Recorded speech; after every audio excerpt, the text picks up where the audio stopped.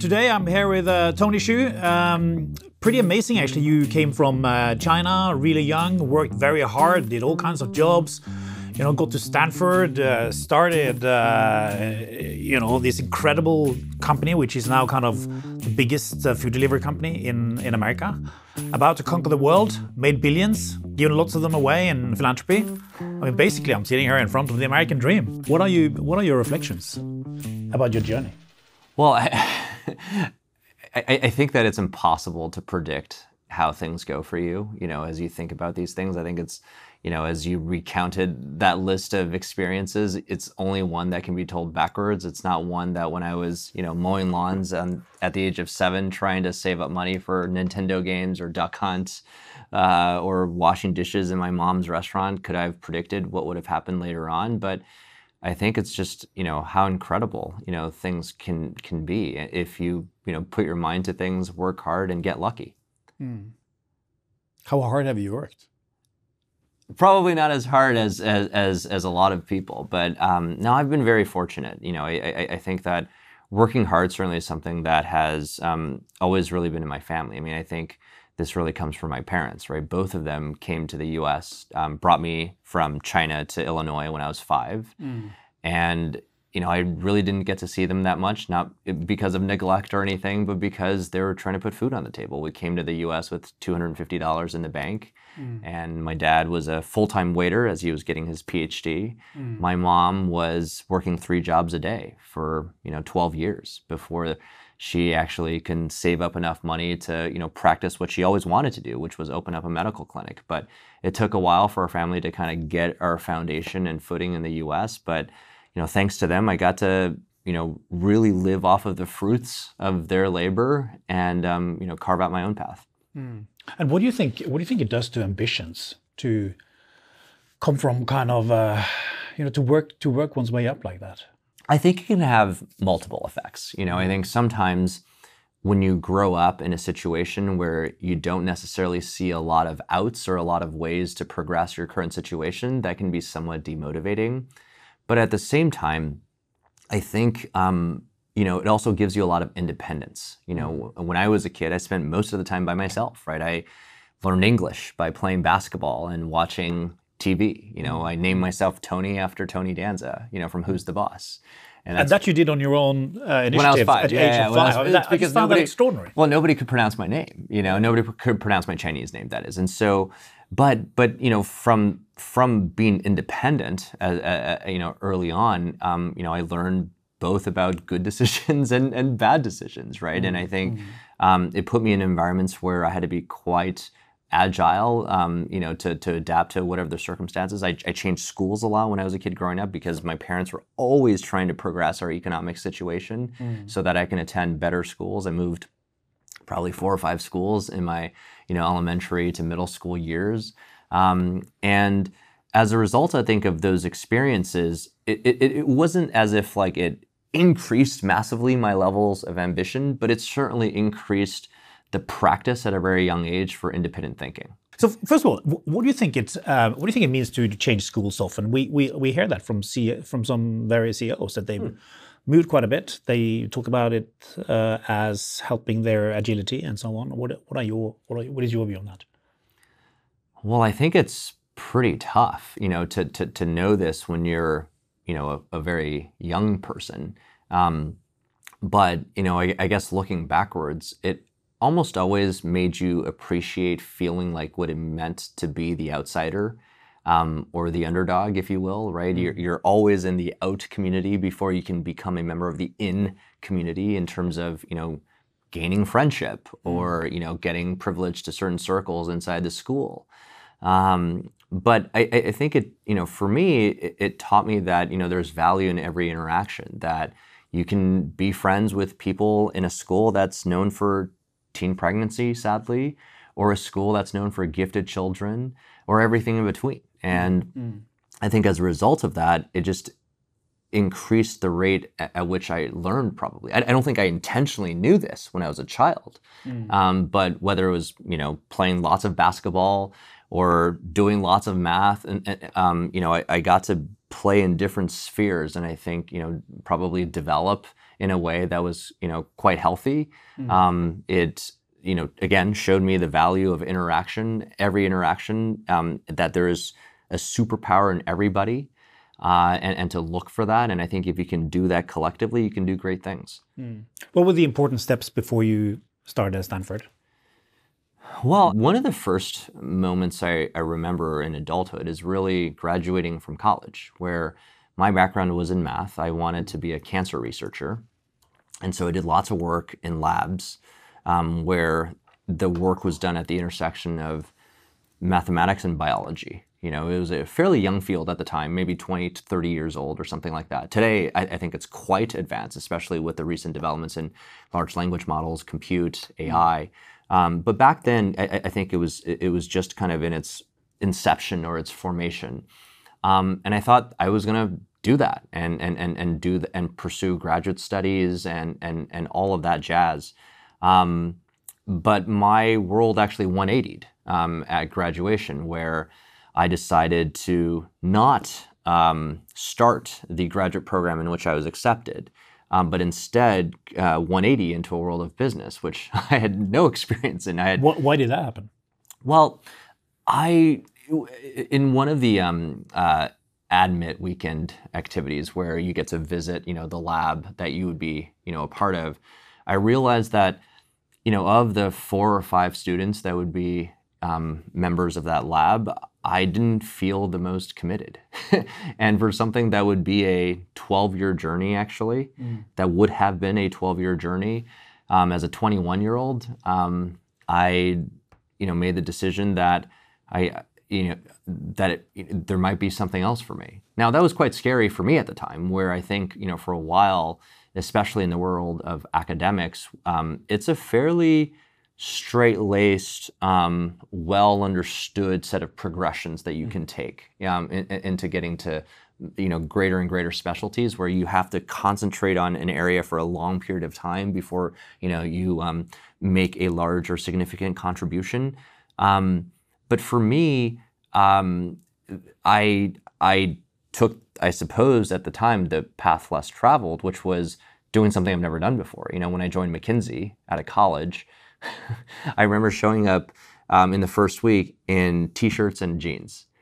And I didn't understand what business casual wear meant. I didn't know what Microsoft Excel was. I didn't know what PowerPoint was. I barely understood the word revenue. You know, my background was more in the intersection of mathematics and, and biology. Well, you and must have learned. more You must science. have, you must have picked this up pretty fast then. Well, yeah, I- I- I- uh, uh, and, and, uh, you know, thanks to the awesome teammates and, and colleagues I had at McKinsey, I did. Hmm. But but you know, I, I think it, it what that experience taught me was that I think for me to have gotten to Berkeley, which is where I, I hmm. completed my undergraduate studies, that in many ways life had already given me so much more than maybe what it's given some other people that I'm going to be okay. And, and I think that had a pretty formative opinion um, for me in terms of just something to remind me that it's probably okay to take you know more risk. And the fact that McKinsey actually worked out pretty well for me um, just you know added more confirmation to that bias. What did you learn at Stanford then?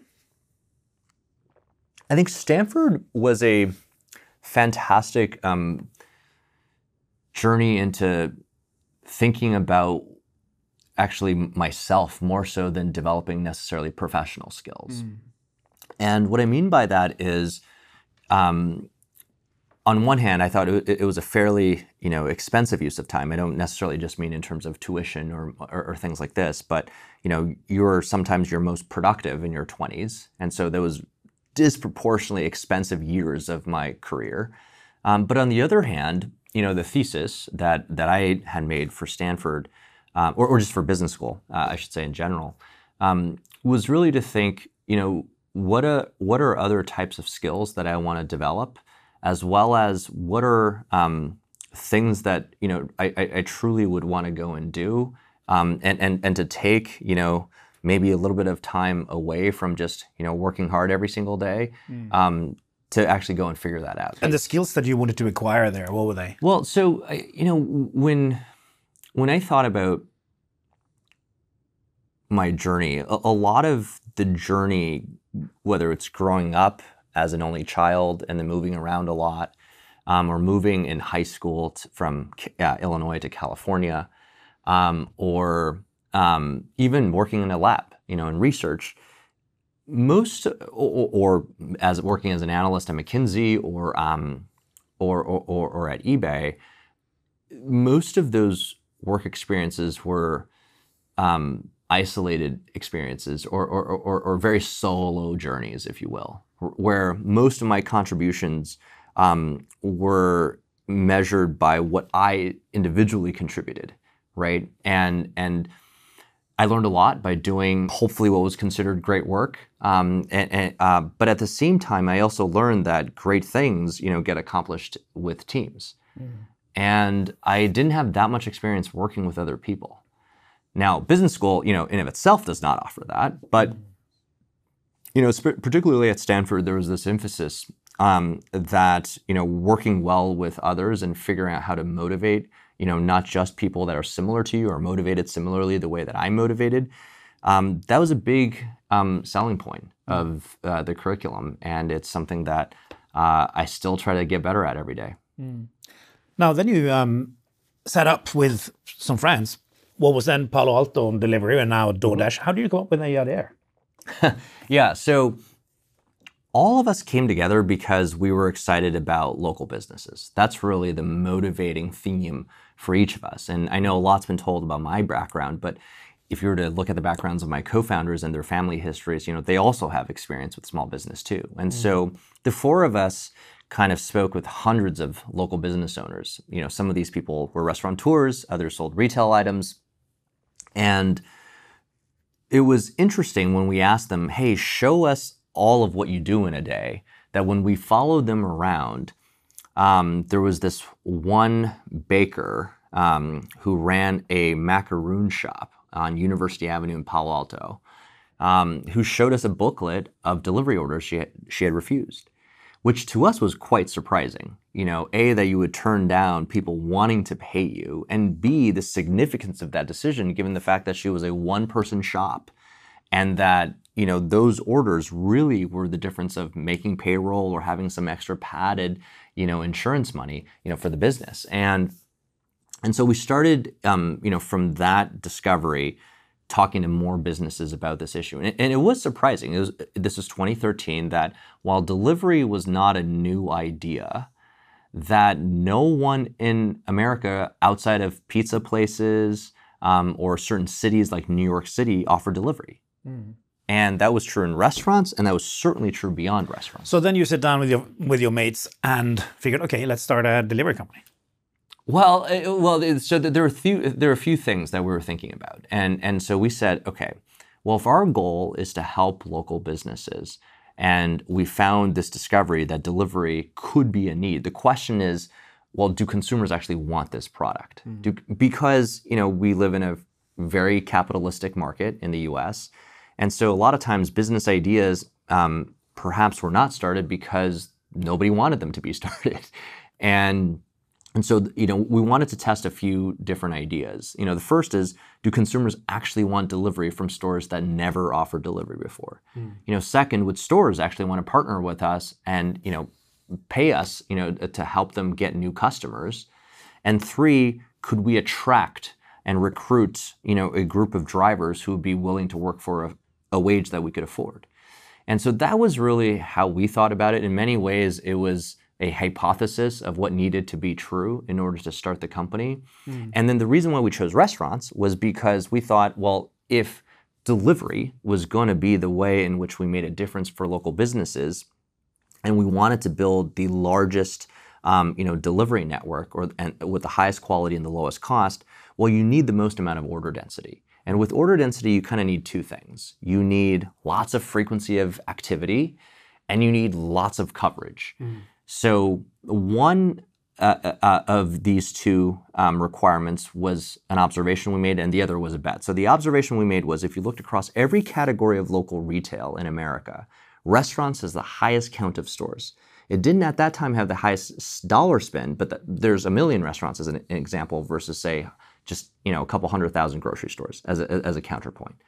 Um, so that's why we started with restaurants. And the bet would be that if you can start with restaurants that there would be the most frequency of activity with the most number of stores that that would generate the most order density, which would make it easier to build the last mile network for any other category. Tell me about the first order you got. The first order we got actually happened on a Saturday, January 12th, um, 2013. So we um, shipped PaloAltoDelivery.com. Okay, this was the most minimal version of a minimal viable product, where in 45 minutes we built a website with eight PDF menus. There's no way to order. The only way you can order is to call a Google Voice number that rang the cell phones of the four founders. Yeah. So a customer in in in Menlo Park actually uh, placed an order. I think the only way he found us because the order was placed 45 minutes or so after we launched the website was literally by typing in paloaltodelivery.com in the browser because Google I don't think would have you know indexed our our name at the point yet. Um, but he placed um, you know for himself a, a- a- you know an order from Bangkok Cuisine um, and, and and and and it was it was two items. It was um, chicken pad thai and it was spring rolls. And So, so, pretty good, basically. it sounded delicious. So he ring he he he, he calls in. Yeah. I, uh, I uh, one of my co-founders answers. He's in the car with me. I'm in my 2001 Honda at the time, and we are literally um, you know about to drive home you know from from campus. But instead, we detour and go to Bangkok Cuisine, place a takeout order, bring the order to his house. So you did it yourself. We did it ourselves, and then we um, went in, and, and, and I, I, I was an intern um, the previous summer at Square, and so I had a lot of these Square card readers. It- it- at the time, it was this white register product that you can insert into the jack of the iPhone, and so that's how we accepted payments. What did you feel? It was awesome. It was uh, it was uh, in some ways not believable that somehow he found us. We were shocked he found us. You know, um, so I, I, I, and and and you know, as as they say with you know entrepreneurial journeys, um, you may have this amazing feeling of euphoria when, when you launch and then quickly that's followed by a trough of sorrow the trough of sorrow followed pretty quickly thereafter where you know it wasn't that easy to get you know the next set of orders for the first few months And how did it? So how did it scale? I mean, how? yeah What happened then? yeah, so we effectively were a delivery service at the time for the Stanford campus, right? So we were still students, you got to remember at the time. Um, and so we're students, we're running the service, so we're taking classes, you know, in the daytime. And at lunch, we would take turns, you know, doing deliveries. We would call and take turns dispatching by calling in the orders and then using Find My Friends, the iPhone app, to track where you know each of us four founder drivers were. We're the only drivers, uh, you know, you know, of the service were, and then we would dispatch the orders ourselves, right? Um, we were the human algorithm, you know, behind the scene, and um, we did this for about four or five months before we um, applied to Y Combinator, and um, we launched uh, officially as DoorDash June 21st of 2013 in the summer 2013 batch out of YC. How many deliveries do you have now per year? Per year, I, I, believe the last reported number is is, is in the billions, um, but uh, and, So from one to billions. yeah, When you when you set it up, what was kind of the the dream? The dream. What, what was the biggest that you thought could happen to this? So it's funny you asked that question because that's literally the question Y Combinator asks you in the application. Hmm. So I wrote the application And just to fill in, a Y Combinator. That's Sam. Oh, Alt- sorry. that's Sam Altman's. At one point, yeah. at so- one point, right. uh, yeah. So so so Paul Graham, Jessica Livingston, and others founded Y Combinator, um, which is this incubator program in Silicon Valley um, that helps you know start companies. Um, uh, Sam Altman, to your point, um, at, at one point ran YC. Today, Garry Tan leads YC. Um, and uh, but but one of the questions, um, as as part uh, certainly in the 2013 era, that they asked in the application was, how big can this service be or how big can your product be? How much revenue do you think you'll earn by year seven? Or i think it was some version of the question. And i think at the time for consumer companies we were we were studying you know achieving $100 million of revenue was a very significant milestone. And so i just remember writing uh, uh, you know doing some sanity math about well today we launched in palo alto or we operate in palo alto how many Palo Altos do there have to exist? And how many orders in each Palo Alto do we have to complete such that we can generate $100 million of revenue? And that was the math I remember answering. so $100 million is, is, kind of what I answered. Thankfully, I was off by a couple orders of magnitude. Um, but you know, these are things that are hard to predict. So what, what are the important milestones from that stage until now? There are many along the way, you know, and, I think it, you know, it, it, really helped that when we started the company, we did have this organizing framework that was really centered on our audiences, our customers, right? So we have we have three kinds of customers. We have mm-hmm. consumers, we have merchants. At the time, they're restaurants. Today, they span all of retail, and then there are um, there are dashers, the drivers on our platform. And we really, you know, for DoorDash to work from day one, we had this, you know, belief that it has to work for all of these audiences. It mm-hmm. can't just work for one of the audiences or, or two of the audiences. It really has to work for everyone. And so that was a nice organizing framework for us to figure out, okay, great, you made it work at Stanford. Can you make this work in Palo Alto? Mm-hmm. Then can you make this work in a larger area like San Jose? Um, you know, and, and, and, and how extensible is this service, right? Can you repeat this in places of all social economic backgrounds and populations? And so that was really the journey, I would argue, between 2013 and 2016, where we proved to ourselves that A, we can make it work for all the audiences mm-hmm. and make a dollar doing it. And B, that we can actually launch this in a mainstream way. And what were the set, what were the main setbacks? Oh, there were many. Um, so did you like nearly die during this period? Sometimes. Many times. I mean, between 2013 and 2018, you know, the company almost always fell broke, and you know, I was singularly responsible for it because as CEO, one of my key or maybe sole job responsibilities, top priorities, is to make sure we never run out of cash. But it was really hard. The fundraising process. You know, I remember there were three years between 2016 and 2018.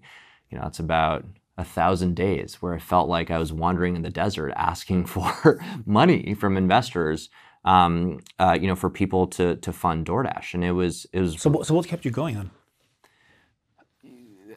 There's never one answer, you know. I, I, I, I think because you know at some point, you know, willpower gives out, right, and and you need something beyond that. And for us, you know, I, I, think one of the lessons I learned, you know, through, throughout that journey, and, and, and even in some of the tough moments early on in the company's life, is that while you have this grand vision and mission as the entrepreneur that you're always holding onto, it's really the team that dictates your day-to-day satisfaction. Mm. And if you can build a culture where it feels like, yes, you want to win, and yes, you want to do all the things for the customer, and it feels like you're playing for one another and playing, you know, for the team versus just playing for yourself. Um, it's a lot easier to get through whatever the moments are because it's a lot easier to have, you know, at the time there's about 250 of us, you know, go through this together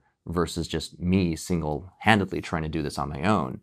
And look, I mean, it doesn't mean that there weren't losses, right? We, you know, we had a quarter of the team, you know, maybe a little less, but close to a quarter of the team who decided that maybe there were greener pastures elsewhere mm-hmm. because you know you see the bank account declining every single week we're a highly transparent high ownership company where we report out on numbers and and and i understand that mm-hmm. and and but but if you think about the people that remain and and stuck with it and perhaps this is you know one version of survivorship bias but for the people that remain that you know, hung in there long enough and won by building a product because we didn't have any access to dollars, so there was no marketing spend or things like this, that had a product that had higher retention and order frequency so that we can then get lucky enough to get an investor or two to say yes.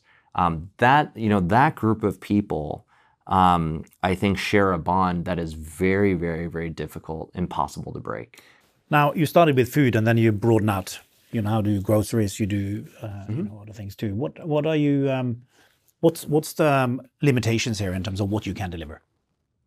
Well, if you can deliver ice cream cold or pizza hot, you basically can deliver anything. And so that was, you know, part of the thesis of again starting with prepared meals, not just because of the order density perspective, but also from what you're talking about, which is the logistics capability. So. Mm-hmm You know, we've effectively built the most sophisticated point-to-point system um, where you know any business can deliver to any consumer and back. Any business can deliver to any other business, and and look, there's a long ways to go. You know, I, I think there's the logistics element to how hard this is as you go from you know category A to category B to you know other categories. But there's also just organizing the information that's offline. You know, none of this information exists. If you we're sitting today in Los Angeles, if we wanted to ask where's the last parking space in downtown LA, that's a really important question for dashers who want to be doing deliveries. Mm. Or if we wanted to ask, you know, where can we find the last, you know, bottle of Coke, um, uh, uh, you know, at a particular price point, very few stores know that information, mm. right? And and I think while there's an amazing revolution happening, certainly with large language models online today, there's still so much information that is offline that still needs to be organized and assembled. Mm. You talked previously about um, you know wars. You say there were two wars. There is a war on, on bits and there is a war on atoms. What do you what do you mean by that? I think if you think about what's happening in technology um, today, and, and, and this is I think even true beyond technology, you know, we have you know one world where it's a digital first or possibly digital only world where there is a lot of dynamic behavior in the environment thanks to LLMs, but also just thanks to a lot of people vying for the consumer's attention, right? Who ultimately want to be that center point, that digital assistant for your life, right? And and there's a big battle going on right now.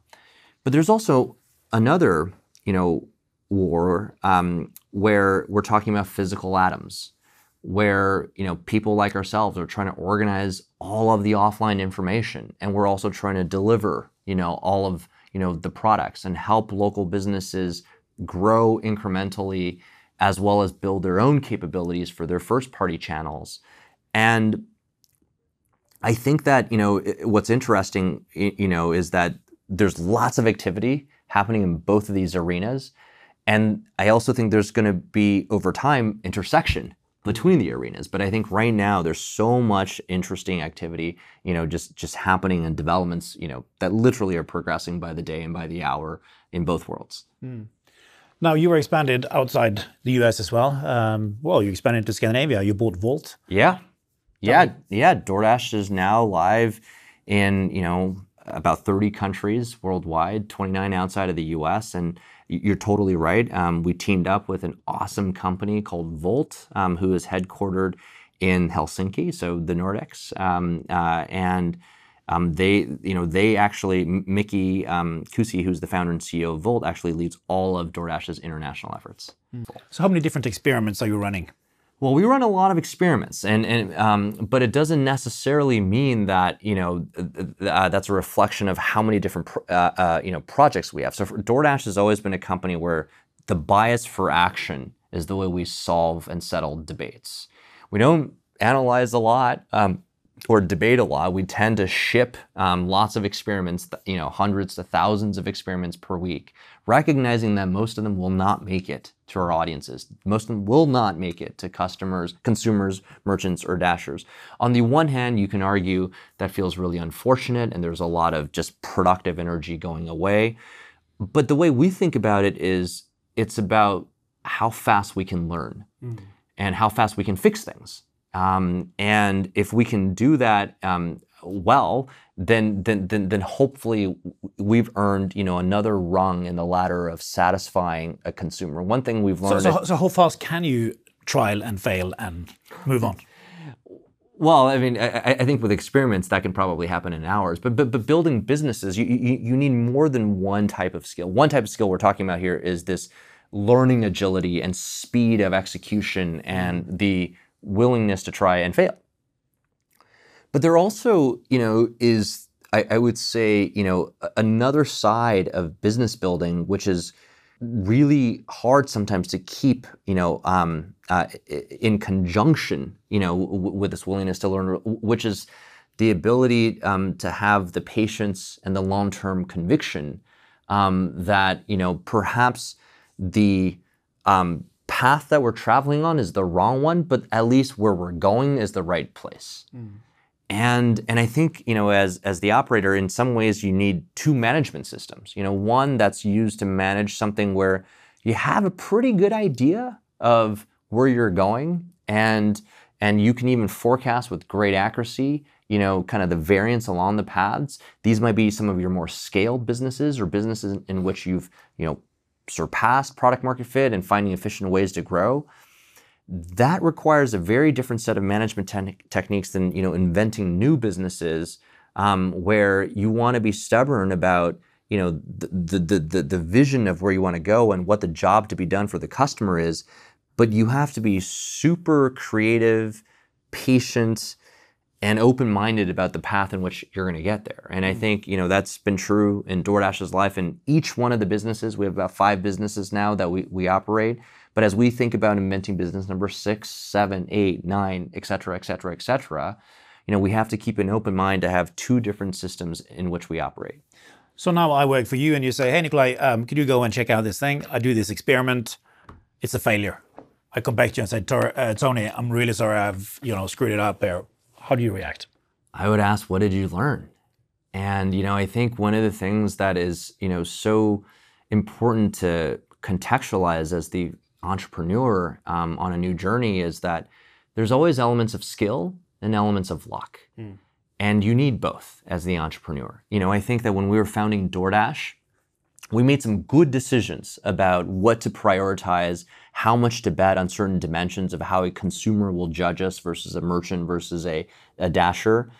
And there's some points, you know, that we scored from the skill category. But there was a lot of luck mm-hmm. around how large these categories could be, or that if we made certain decisions to, you know, invest more in this market versus that market, um, you know, it's it's not always something that you get to know in advance. Otherwise, it wouldn't be an entrepreneurial journey. Moving tack a bit here, um, AI and technology. What's the next thing it can do for the company?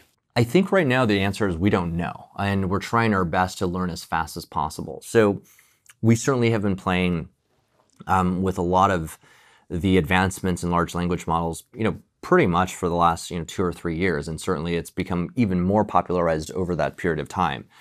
And we've seen glimpses of of, a lot of um, success, um, especially as we think about how can we help organize the physical world. Um, and build data sets from that and use AI to understand how to fill out those catalogs. Um, We've seen AI in, in, in, in other use cases, whether it's you know helping us with customer support or detecting fraud. Um, there's lots of you know use cases, and I think you know the best way to kind of think about where we are is just we're very small percentage of the progress bar. It's one we're very bullish on in terms of the general technology, but you know in terms of you know finding you know the the the home run i guess that the, the mantra we have right now is about making sure that it's about having enough shots on goal where we don't know the silver bullet you know answer to your question about what is the you know, you know killer application with respect to some of the advances in llms as it applies to our kind of business. Um, but we're learning quickly. Who else is trying to organize the physical world the way you are well, I think it's happening in pockets. You know, I think what's so hard about this is that um, unless it's your mission to grow and to empower local economies, where you know you're on this many multi-decade journey where that is the sole source of what you want to do, I think it's really hard. Um, and, and, and, and that's why I think in the past, it's mostly been done in pockets, mm. right? You know, some people will organize, I don't know, parts of retail. Other people might organize, you know, parts of services. Other people might organize parts of department stores. And and I think what's what's um you know both daunting as well as exciting for us at DoorDash is just the enormity of the challenge that you know we see ahead of us where we do want to be both the infrastructure in the um, in, in the physical world for every city we operate in and we also want to connect every local merchant with every local consumer. And I think, you know, doing these things are just, it's only two things, but it's going to take many decades. Mm. At the same time, you try to kind of put yourself out of business. well, we're always trying to make sure that we're inventing a better product. One of the things that I've learned is that consumers are never satisfied. Yeah. There is all like no consumer is going to remember the fact that you know we've delivered faster today than a year ago. They're just going to expect us to deliver faster, you know, a year from now or, or even tomorrow, right? And and no consumer is going to ever you know ask us to increase our prices or lower our selection or make worse our customer support. So I think you know instead it, it, it's I th- I think building the fortitude as well as the team with the mentality that um, we always have to invent new businesses, but we also must understand the importance that we always have to keep getting better at the main thing too, right? It's it's like you have optimization on one side and innovation on the other, and they require very different management systems. They also require you to hold both of these things in your head at the same time. What kind of culture do you need at DoorDash to achieve this? I think you need um, you know several things to come together because I'm, I'm glad you asked about um, you know the culture that that might be the only thing that actually allows you to achieve you know um, you know all of these ambitions and build all of the products which is I think it's first and foremost start with a very high ownership high accountability kind of culture where if you think about what we do um, it's more of a utility service versus an entertainment system right? So if we mess up and we don't bring you your products, um, that is extremely disappointing in the eyes of the consumer. That's a lost sale, which is, um, you know, it, for a business that might be uh, very thin on margins, and it's a lost work opportunity, mm. um, you know, for a driver. I mean, it really is a reflection of the local economy. The way I see it is, if you think about GDP and where it gets created, most GDP is still produced by the small, medium, and large businesses physically inside every city. Mm. And they also, these businesses describe the personalities of why we choose to live in Los Angeles or Oslo or San Francisco or other great cities. And I think in order for that to stay vibrant and true, where we live in a world where all of these businesses will be successful instead of a world where there might just be success at the hands of one or two, you know, mm-hmm. merchants, then we have to um, take great ownership and, and seriousness of, of, that responsibility. I think it starts there. So how do you I, find, so so now so you talk about accountability and, and and ownership. So here you interview me now for a job. How do you figure out whether I have it? I don't think there are any magical interview questions. I think most of these things, you know, happen through listening um, than than necessarily asking the perfect interview question. I recognize it's a bit ironic as we're talking about this in a podcast, but but you know, for instance, I'll, I'll give some examples, right? So when we talk about you know high accountability, if I see a senior executive come and you know the first thing they tell me um, in the in the you know interview is here are the five reasons why you should not hire me. That's a very different communication mechanism or choice than someone who just tells me all the wonderful things that they've accomplished, mm. right? I mean, you know, something else we look for is this, you know, strong bias for action. One of our, you know, um, early builders at DoorDash, and he's still someone who works with us, but but in, in, in, a, in a, smaller capacity, um, was Christopher Payne um, you know, who who was our chief was our first chief operating officer and president. You know, he uh, I remember spoke with me on a Friday for about four hours um, in 2016. And later that evening, like, you know, within a matter of a couple hours, basically, he and his 13 year old son, Andrew, at the time, um, 13 at the time, you know, they literally went out and just did deliveries for three or four hours. That's a high bias for action. I didn't ask him to do that. I didn't say, hey, can you tell me what's wrong with our logistics system? No, he just went out and did deliveries and figured it out, right? You know, we, we care about people who operate at the lowest level of detail because the physical world is messy and everything is an edge case. So, you know, our first, uh, our, our, former CFO, our current president, Prabir Adarkar, Prabir shows up in my first interview or conversation where he brings a 10 megabyte file that's a model of what our financial projections would look like, you know, for the next five years. I didn't ask. This was a this was a coffee. It was supposed to be a coffee chat. What turned out, you know, to be a four-hour examination of unit economics and you know the progression of you know our markets and our performance, right? We look for people who can hold two opposing truths at the same time, right? So people who are not dogmatic in how they think. We look at people who are great at building teams. So we look at the track record. That doesn't have to come from an interview. We look at people who have strong followership um, because it takes a team to, to sustain uh, in order to win. And so we look at, you know, when people move jobs, for example, you know, so even before the interview, we look at when they move jobs, how many people literally follow them? Mm. And you know, so these are some of the things we call them the attributes of excellence that we look for in building a culture that I think you know can meet the demands of what we're trying to do at DoorDash. Mm. This um, ability to get people to follow you or being a talent magnet um, is key here. Why, why do people want to follow you? What is it that you have as a leader which makes it attractive to work for you? You think?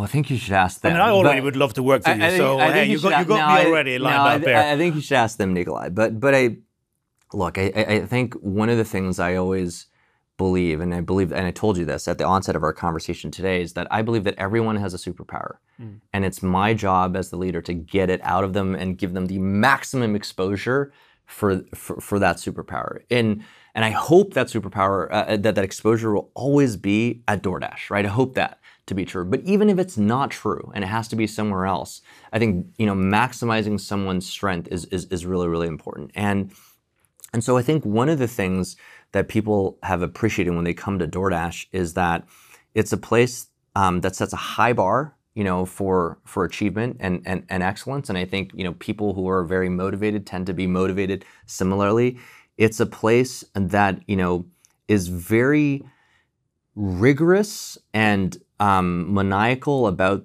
um, the the the the outcomes, but but but we are very flexible in how we get there. Mm.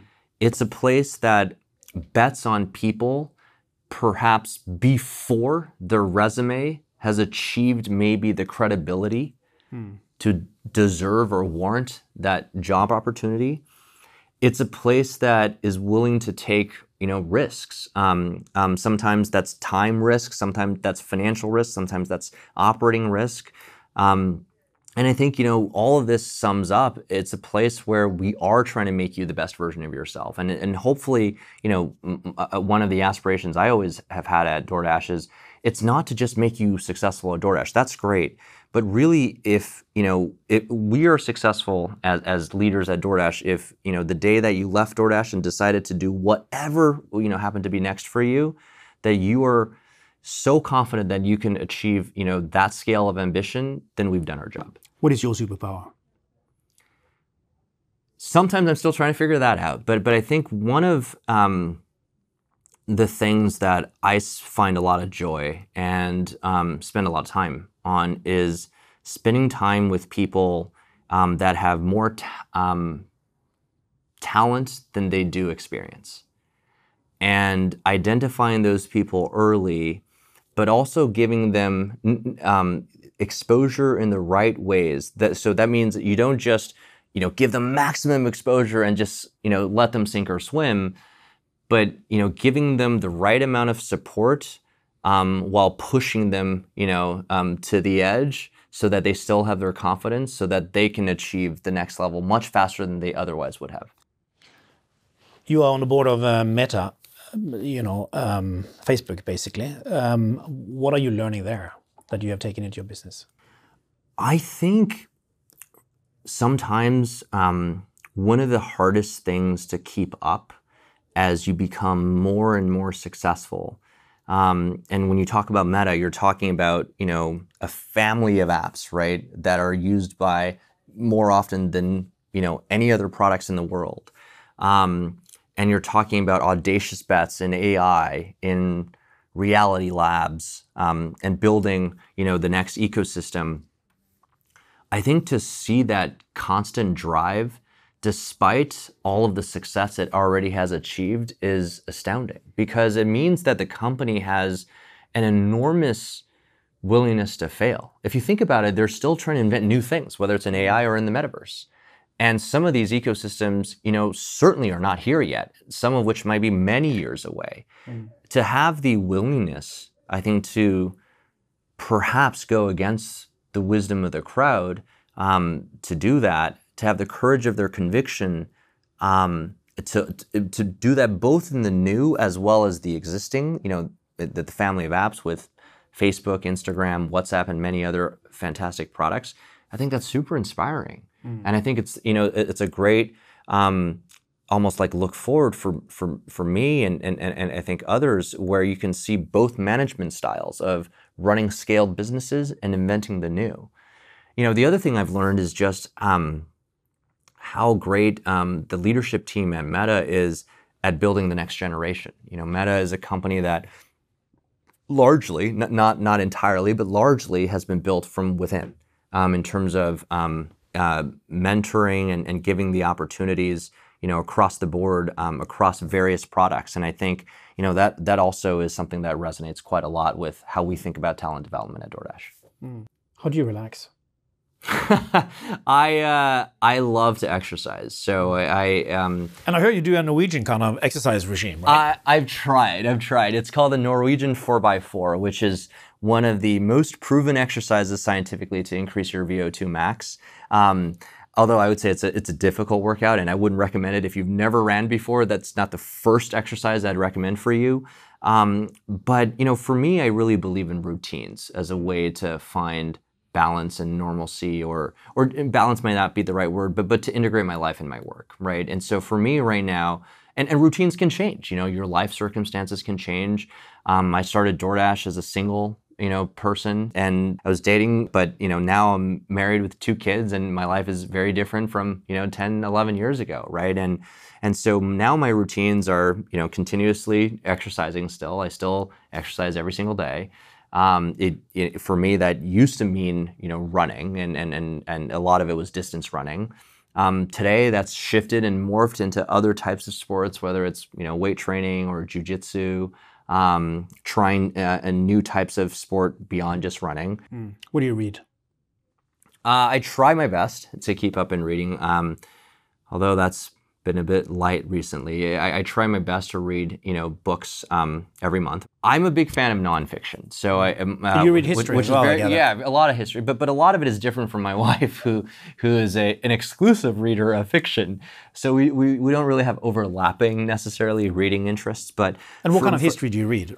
What do you find a- useful? A, a- a- lot. You know, I, one of the things I like to, I love to read about real people. You know, I think one of the things is I truly believe that life is more in- interesting and entertaining sometimes than fiction. I, I think some of these things you just cannot invent. And Well, tell um, me, tell me some of the real people you've you admire or have read well, about. there's a lot, you know, and, and and so I don't I don't want to necessarily single out any any particular um, you know leader, but I've really enjoyed you know histories and you know biographies around you know military leaders um, or different wars that have you know, you know um, been, been started, or the study of industries or the study of businesses.